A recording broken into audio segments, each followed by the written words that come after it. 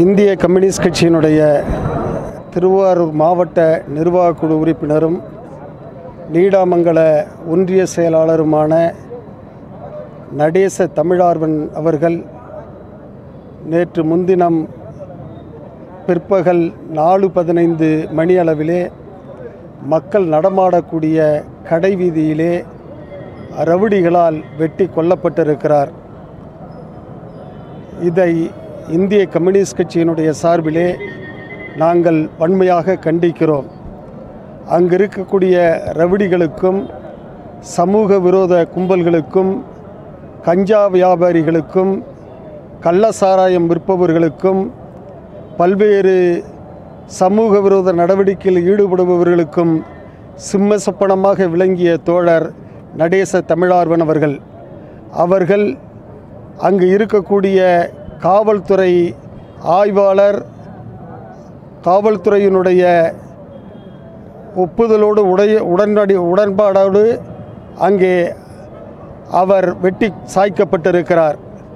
அதற்கு எங்களுடைய கண்டனத்தை தெரிவித்துக் கொள்கிறோம் அதே போல அந்த ரவுடிகள் பட்டியல் இந்திய கம்யூனிஸ்ட் கட்சியினுடைய மாநில குழுவின் சார்பிலே நாங்கள் ஏற்கனவே கொடுத்திருக்கிறோம். ஐந்து பேர் கைது செய்யப்பட்டிருக்கிறார்கள். மற்றும் மற்றும் இருக்கக்கூடிய அத்தனை பேரையும் உடனடியாக கைது செய்யப்பட்டு குண்டர் சட்டத்திலே அவர்கள் அடைக்கப்பட்டு உடனடியாக கொலைக்கான காரணத்தை கண்டுபிடிப்பதோடு மட்டுமல்லாமல் குற்றவாளிகளுக்கு விரைவிலே தண்டனை வழங்கி கொடுக்க வேண்டும் என்று இந்திய கம்யூனிஸ்ட் கட்சியின் சார்பிலே கேட்டு இன்றைக்கு தமிழ்நாடு முழுமையிலும் கண்டன ஆர்ப்பாட்டங்கள் நடைபெற்று கொண்டிருக்கின்றன. இதற்கான மூல காரணமாக விளங்கக்கூடிய இன்றைய சமூக விரோதிகள் ரவுடி கும்பல் இவர்களை உடனடியாக தமிழ்நாடு முழுவதிலும் கண்டறிந்து நடவடிக்கை எடுக்கப்பட வேண்டும்.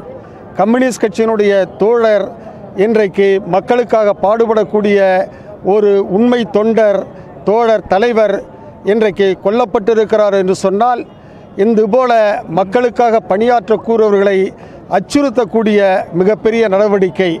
அந்த நடவடிக்கை தொடரும் என்று சொன்னால் தமிழ்நாட்டிலே இருக்கக்கூடிய மக்களுக்காக பாடுபடக்கூடியவர்கள் எல்லாம் கொல்லப்படுவார்கள்.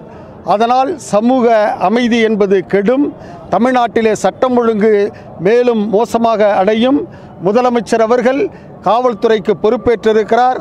காவல்துறையில் இருக்கக்கூடிய கருப்பு ஆடுகள் தண்டிக்கப்பட வேண்டும் ரவுடி கும்பல் ஒடுக்கப்பட வேண்டும் தமிழ்நாட்டிலே சட்டம் ஒழுங்கு காப்பாற்றப்பட வேண்டும் என்பதற்காக கம்யூனிஸ்ட் கட்சியினுடைய சார்பிலே எங்களுடைய கண்டனத்தை இந்த நேரத்திலே தெரிவித்துக் கொள்கிறோம் எங்களுடைய போராட்டம் தொடரும். இதுபோல் நடவடிக்கை இருக்கும் என்று சொன்னால் போராட்டம் தொடரும் என்பதை நாங்கள் ஆணித்தரமாக இந்த நேரத்திலே சொல்லிக் கொள்கிறோம்